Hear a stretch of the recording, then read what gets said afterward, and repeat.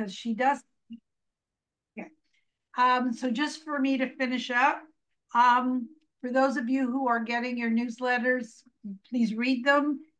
They will tell you all of the things to come to and participate. What I do want to tell you is that on August 4th on Sunday, we will be having a next book fair. Our book fairs are fabulous.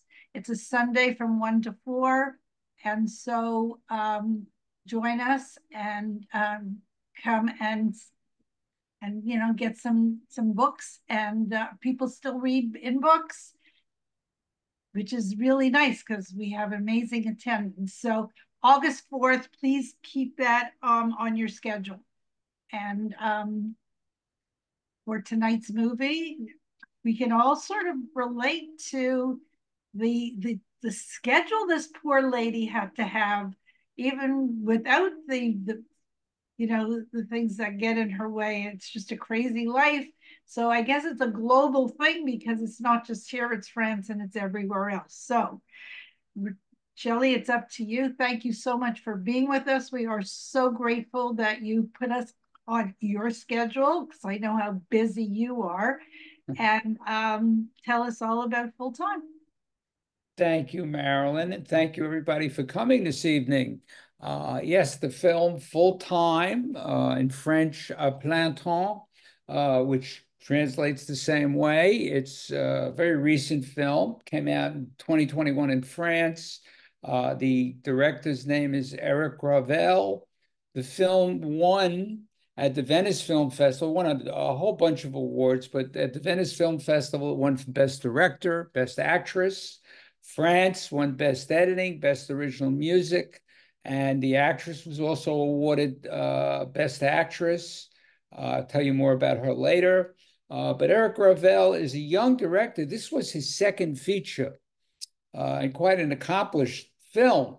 His first film, just to let you know where he's coming from, was entitled Crash Test Dummy. Uh, and it was a very well received comedy about the globalization of work. So it relates to this film in a way. Uh, and the film was about a person who was a, a, a, a test, a crash test dummy worker who's faced with whether to relocate a company to with a company to India, and she decides to drive there from France. Uh, so it was a comedy and it was a road picture, and it uh, she comes across all these people on her way there and learns what kind of world she's coming into and being a part of. Anytime, uh, anyway, Full Time was uh, an overwhelmingly critical and audience acclaimed film and uh, earning Eric Gravel many awards for his direction. It is, uh, to say the least, a master class in using cinematography, editing, and sound design to create a truly a truly immersive experience. The film pulls no punches uh, in its portrayal uh, of the struggles of working mothers and uh, the anxieties of modern life uh, that affect them. Uh, it is it is a bravura performance on Laura Calamy. That's the name of the actress part. It all begins. The film all begins with sound.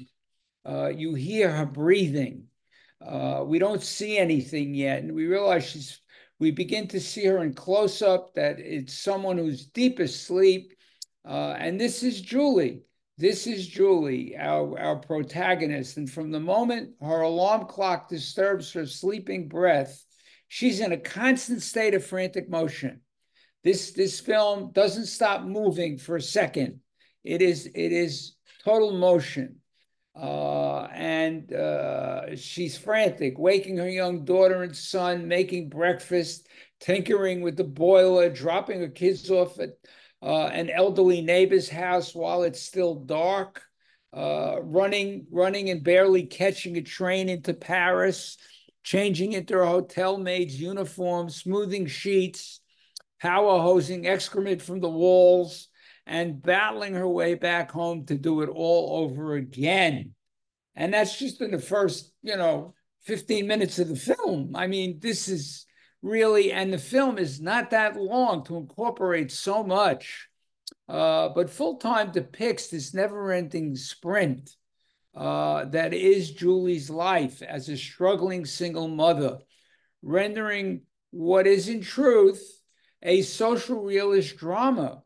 Uh, I mean, it couldn't be more resonant. Uh, it's a social realist drama as gritty, heart pounding thriller.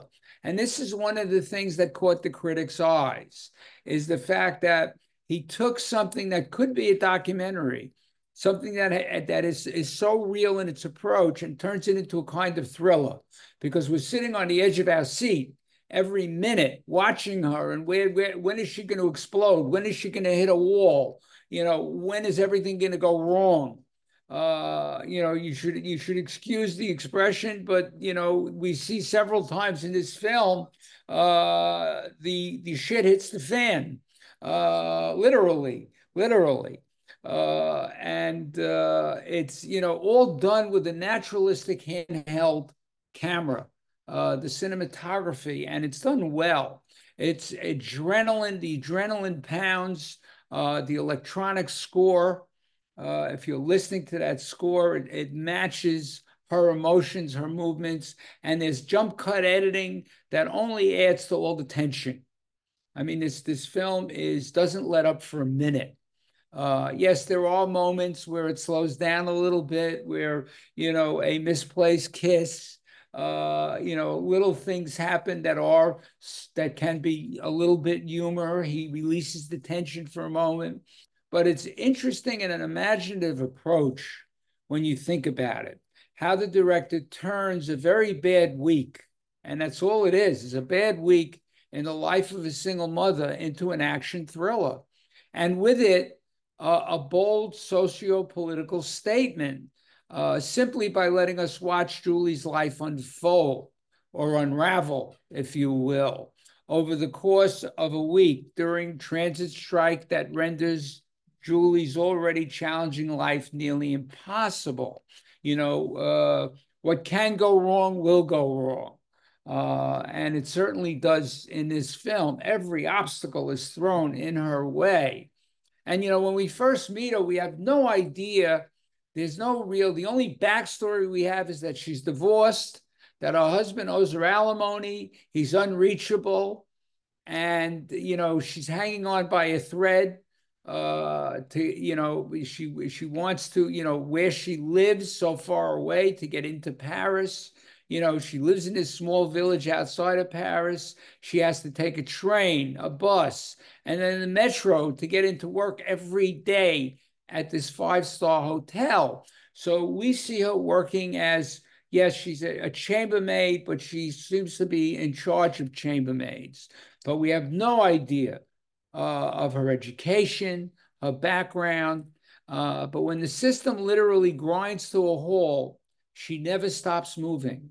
She is jumping onto replacement buses, and I'm talking about the transportation, hitchhiking, and taking off licensed cabs, or what we would call gypsy cabs, wherever she can, just to get to work in the morning and return home to relieve her babysitter who is becoming excessively exasperated. She's an older woman. She doesn't really want to do this anymore. She has her own daughter to contend with, with calls to her ex husband for not paying his alimony on time that go straight to voicemail. And with the transit strike affecting her child care issues, as well as problems with her supervisor at the hotel, Julie is a study in total desperation summoning whatever charm she can summon to first ask, then beg for favors. Uh, like turning it on to ask the doorman to help her with the taxis, uh, or getting a trainee to clock out for her, uh, causing the trainee, who also has two kids to support, to lose her job. So we see you know, we're not just seeing Julie, we're seeing, you know, it's throwing a stone in the water and seeing it ripple. Uh, this ripple effect that everybody, all the women we see in this film, how they're affected. And uh, it keeps us from never losing sight of how tenuous this life is. Uh, the the young girl who gets fired. We, you know, everything hangs by these threads. But Julie is trying to reach for that light at the end of the tunnel. Uh, a job interview at a market research company, which gives us an inkling of Julie's a lot better than we thought she was in terms of education. Uh, you know, she might be a lot more competent. I mean, she makes a decision. One of the inklings that we get is during the film when she makes the decision of how to clean up that bathroom.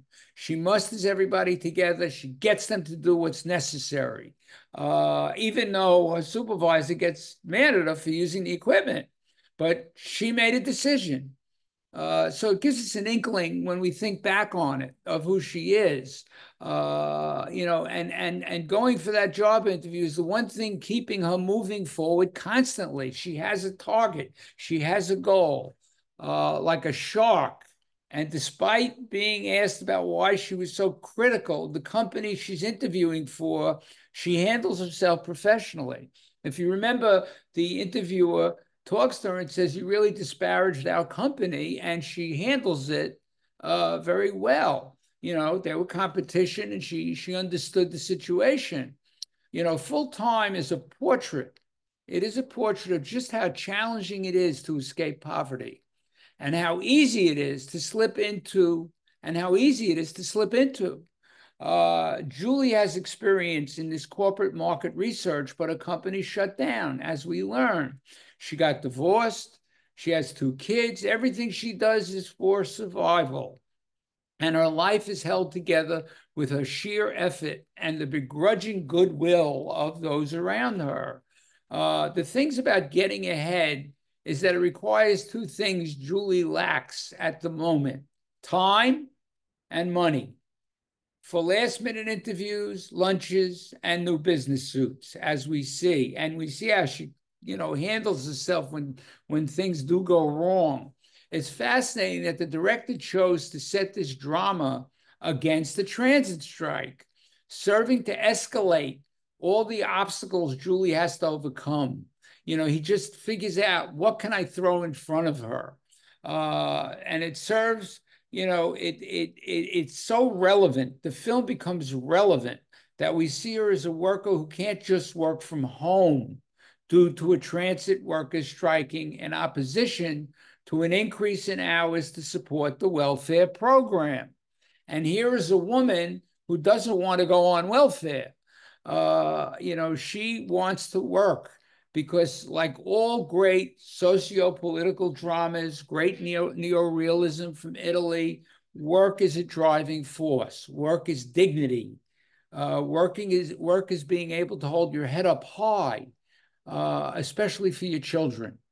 Uh, despite any solidarity she might feel uh, with her coworkers and and with the striking workers, she has no choice but to battle through to continue earning her paycheck to continue striving for more. The only solidarity Julie has to keep is to keep her family afloat, sparing her only ragged scraps of energy for herself and her kids. I mean, I love it when they take a bath together. All of these little moments are so real. They just, they just, you know, make it so human for us. Uh, you know she she uh you know she showers her kids with love in what little moments she can even going to almost superhuman lengths to give her little boy a great birthday party. I mean that's another one. I mean again she's thinking how do i get this thing? How do i get it home? You know and she's putting it together. I mean all of these things she does you know she is super mom uh, and with no time to be anything other than a mother or a hotel maid, she has little opportunity to just be herself. She has to be coer- coerced into have, you know, sharing a drink with her best friend who barely recognizes her anymore. Uh, and in one quiet moment with that neighbor who is her son's friend's father, she makes a faux pas uh, that fortunately he manages to politely exit from. Uh, again, it's a human moment. You know, he they they do like each other, but he's you know, whoa, don't get the wrong idea, and he's he's really a nice guy. uh, finally being locked out of her job uh, at that point and learning that she may not have gotten the job she was up for, she decides to take the kids to the amusement park. You know, when she's given the, you know, she's she's told, oh no, we we already have somebody, and and uh, she's just like she's distraught. She decides to take the kids to the amusement park, and while standing alone on that platform, I mean, that is a crucial moment in the film, probably the most dramatic moment in the film we we and that's again sound and editing. The train is coming. She's standing on the platform, and what we're thinking is probably what she's thinking. Uh, yet, you know, we hear the thunder of the train wheels approaching, giving the subtlest of hints of a possible way out of an unendurable grind. We realize just how invested we've become we've become in her trying to succeed against what looks like insurmountable odds. And we don't want her to do what we think she might do. And, uh, you know, it's not her nature. She's not going to give up. And after watching her claw and fight and dodge every obstacle in her way to pull her under, it's that moment of surrender that salvation comes and along with it, the hope that keeps her going and going and going. At the center of this tornado is the astounding Laura Calamy, who some of you may know for her role in the Netflix comedy Call My Agent. If, you've, if you're familiar with that comedy, you would be familiar with Laura. She had a very funny role in it, and uh, she was a standout.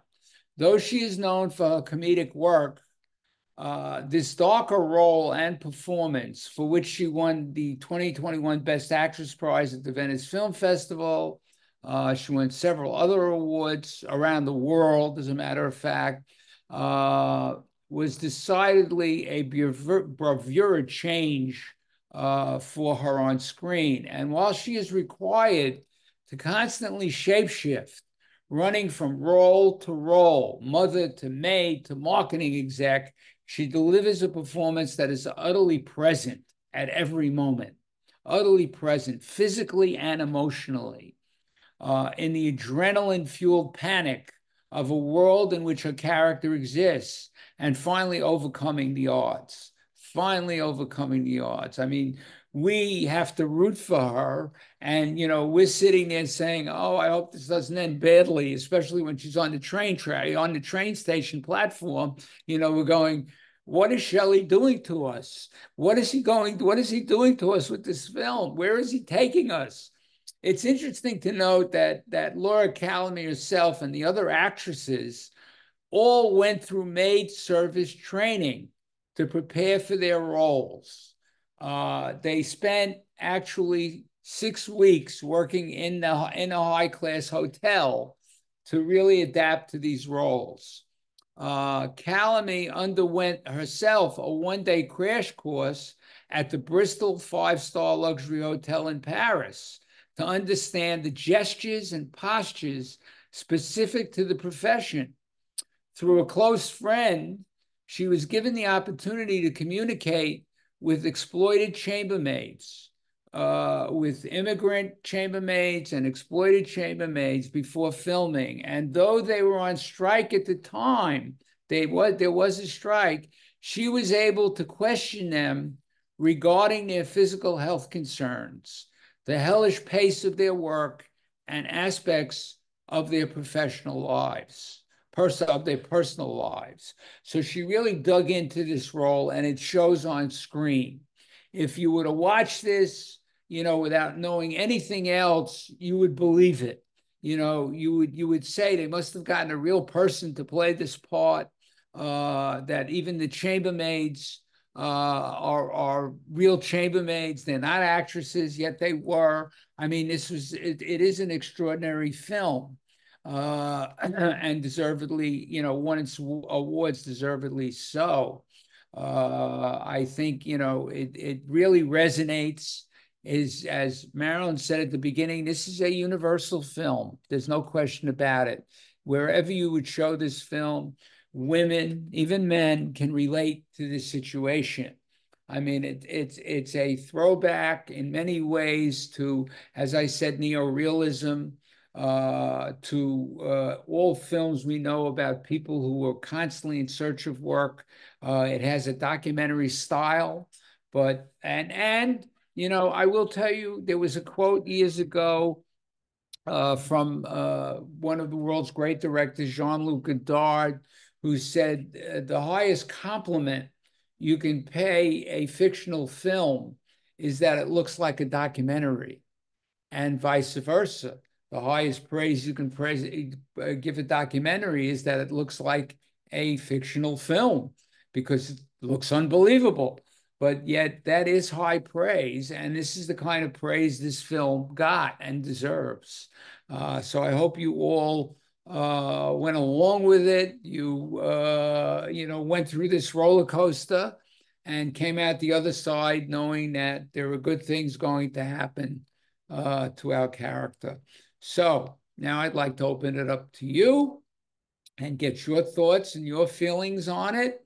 Uh, I see so many, so many people not on screen. I have a feeling they're looking at another screen uh, while while we're discussing the film because I know what's going on over there. Uh, but I will get back to that after we finish tonight. So, uh, Dora, thank you. Jump right in there. Okay. Um, what really got me is that she's always moving, moving, and she has all these things that would anybody would just start, you know, stop and cry or get really angry. But she had she was calm with the kids especially you know kids are uh, jumping and doing all this and when the kid gets uh, uh, he jumps in and, and when she gets the for for the birthday i mean she has scared she has very little money but she still goes and buys a trampoline and and has the birthday and she's always like happy not happy but at least she doesn't until the very very end and I think it's like she was holding it all. And in, at the end, she explodes and cries yeah. when when this good news is given to her. So I thought that that was a great thing. It, it's a great movie, and especially how she jump, uh, how he was the director. Of course, I mean that that she uh, rented a van then she uh, mm-hmm. jumped into the taxi, and then and, and and then when she comes to the hotel after going through everything and even even running and then she finds out that they don't let her in and i think that there would be a moment of despair and she would like cry or something but she doesn't she's very mm-hmm. resilient very so yes. i like that very much yeah, thank you. Thank you. That's terrific. Thank you. Marilyn? Um, I thought that I really enjoyed the movie. I thought it was very true to life. And one of the things that, that got to me was you talked about her education. She seemed to be a victim of feminism that she married, and yet she had to give up whatever her career was to raise the children and put that on hold because obviously there was something. She wasn't a trained maid. She was trained to do something which obviously came back and hopefully that will sustain her. But it was very universal also in that many of us can relate to you know having an education giving it up having your children some got divorced, some didn't get divorced, but it all falls back to the same thing. Your children, you know, are are affected by all of this, but of course the woman herself is too. Absolutely. I mean, I and you know, she was basically, you know, becomes a victim of globalization, you know, and now, you know, enforced out and and having to work her way back in. And it takes perseverance uh, we all, you know, many of us have come across these points in our lives where uh, you figure, okay, you know, they want us to fold the cards, but you don't. You don't. You go on. Uh, you have to have patience, resilience, you know, and and do what's necessary. Especially, you know, that she had the kids. Her husband obviously left her for whatever reason. And, you know, she was forced to live in a small village uh, far away from the city, which she was really uh, where she had probably been working before, and then she was Probably willing to take that it. was all she could afford. Yeah, I mean, and she we was live yes. out there because it's a lot less expensive. Yes, that too. You know, and depending on others, you know, like the woman to take care of the kids uh, before they can go to school. Uh, it, it is, you know, we can all relate to these difficulties. You know, we've seen them all before, but this film doesn't let up for a moment, you know, and, until the end. I mean, it has the small little breaks in it, Mhm. but then it it it, it really it really delivers a punch. Uh, so thank you, uh, Rachel. I also felt like it was almost like a documentary, and I felt the adrenaline rush of like, I'm with her. I'm going on that train. I, I felt it. I felt her character. And it, it- with the music playing and her just scrambling, scrambling, scrambling, I felt for her. And also, I liked it that she wasn't a perfect character. She was asking people to lie for her. She was asking, you know, and and it cost her her job. You know, the uh, the trainee. And also, I thought it was also I loved the fact that when she was sleeping, there was the underwater scene, like she's above, you know, like she's drowning in, in, in everything. and it was a reoccurring dream to her. And I also like the fact that they didn't um with the kiss that she gave, if it was done in America, it would be a rom-com and then they would fall in love or something like that. And it was just a moment in time that she just kissed him and it was just weird and it was great. So I, I, I just thought it was just uh, and I it reminded me of in a way the American um uh series called May Made Made you know where. Yes Oh, yeah. and she's ha- going through the struggles and things like that so but I I really and the one thing that I did think about which at the end of the movie when she does get the job I'm also concerned because she's going to go through the same thing. She has more money now, but now she has to do the same thing. They asked her if she's going can work long hours, so Mhm. she's going to need somebody to take care of her kids. So while it's a better position, she still might have some of the same struggles.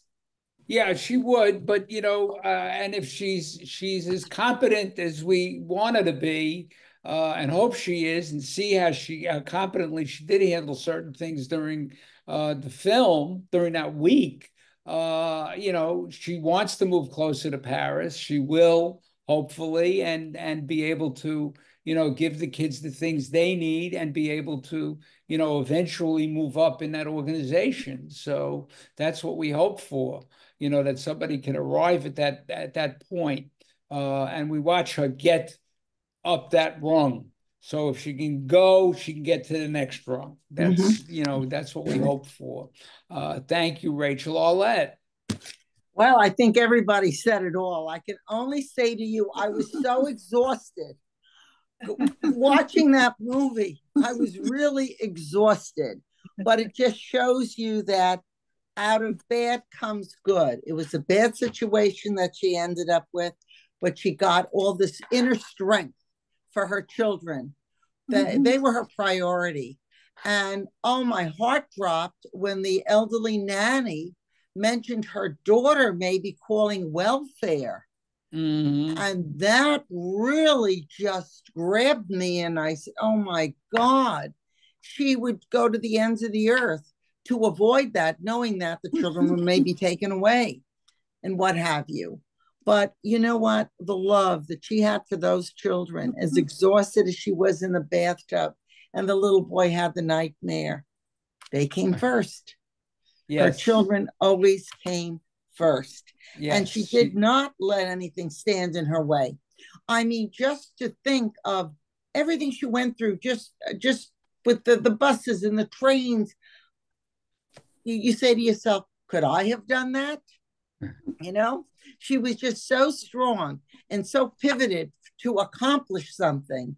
What I really liked was when she called about the job because she hadn't heard from the Mm. company and she did go after that.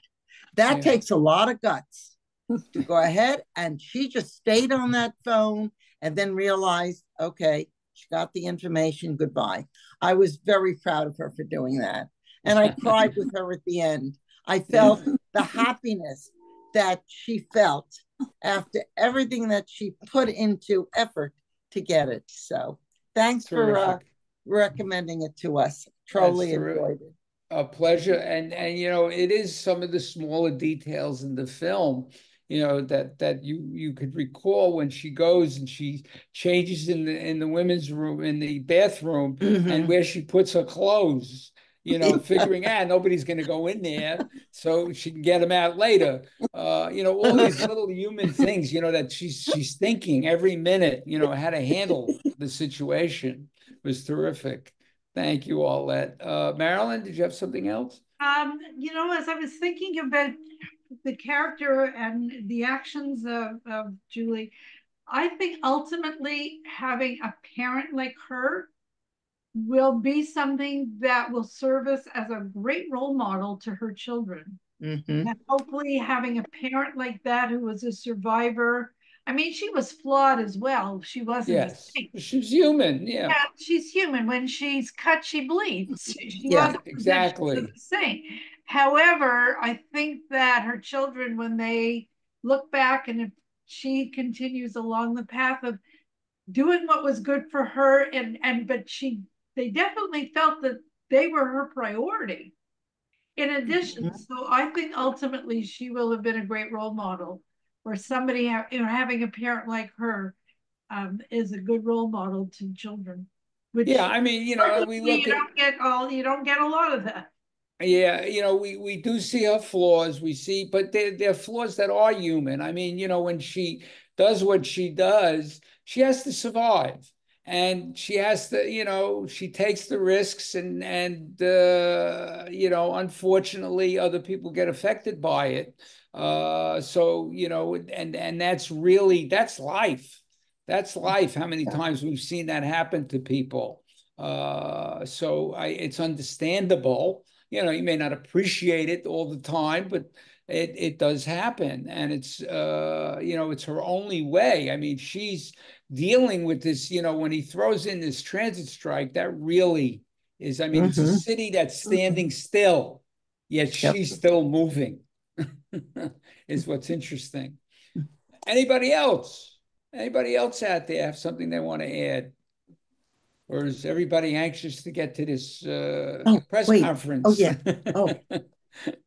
At one Arlette? thing, Shelly, Yeah, at at the birthday party, the young man that brought his son, yeah, and when when he offered to help her, you notice she didn't want to bother him.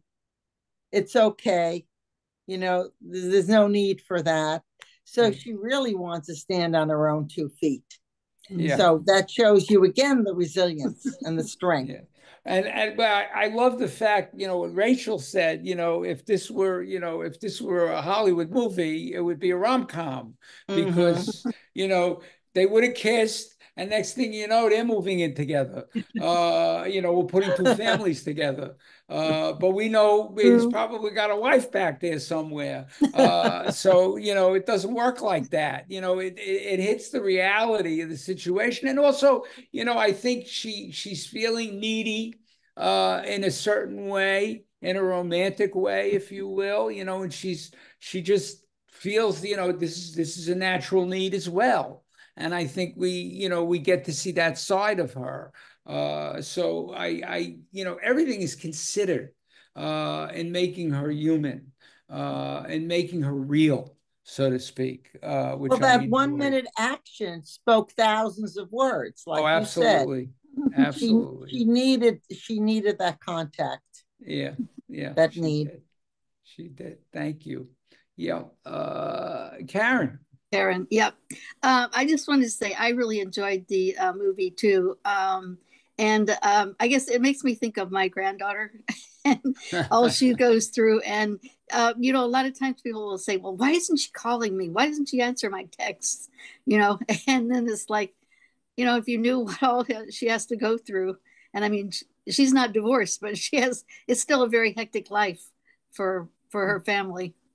Oh, sure. So anyway, yeah, I- just, I did lower it. I did, um, enjoy the movie very much though. That's a that's a great comment because you know we we have to think about you know in this day and age, especially with what's been happening in the last few years, how many kids came out of college and were faced with not being able to enter the career that they thought they would, uh, and are working in other jobs, you know, and how much they will have to do to hopefully work their way towards their goals. Mhm. Uh, I mean, I have a daughter who at one point was working, you know, was, was hoping, and she went to work, you know, in, in sales in a, in a store, retail sales, uh, for a year, uh, and then managed to get back in. I mean, it's just, it's, it takes perseverance. It takes time. Uh, Sure. it involves everything. So I, I thought that, I thought the film really shows us that, uh, Yes. in many ways that people can relate to. And I think they did. I think people really related to this film. Uh, anybody else? Anybody else with something to say? Nobody? Wow. Okay. Well, I think you're all anxious to get out of here. Which, okay, well, next next film up uh, is an equally interesting film on a different level. Uh, it is called Things to Come and it stars a very great actress, Isabelle Huppert. Uh, it's uh, she portrays and and it, it is another star turn for her in a very interesting role. Uh, she plays a character named Natalie, who is a philosophy teacher uh, in Paris. Uh, she's passionate about her work and passing on uh, the pleasure of that thinking of who she is. Her passion comes through to her students. Uh, she's married with two two uh, grown children. She divides her time, you know, between her her work and her family, her former students, and her very possessive mother. Uh, however, one day her world is shaken naturally with the prospect of having to reinvent herself and uh, we will see how she handles the situation and and uh, how she gets out of this one. So I think you know it will prove uh, this now takes you know uh, an older woman uh, in the throes of being faced uh, with things on the job uh, or in her profession as well. Uh, but in in trying to come into a new world at her age. So I will look forward to hearing you talk about that film uh, Mhm. in two weeks. In two weeks. Yep. Can't So- wait. Yeah. Thanks, everybody. Thank Yes. you, Shelly. Thank Yes. you. Thank you. All Be right, well. be Thank well. you, Thank you. Shelly. Be well. Thank A you. Be pleasure. safe. And Thank see you you. all in two weeks. Yes, I look forward to seeing faces instead of names. Okay. Okay. Boy, I thought I thought I thought I was on. you know. Um, okay, I'm gonna stop the Okay. Okay.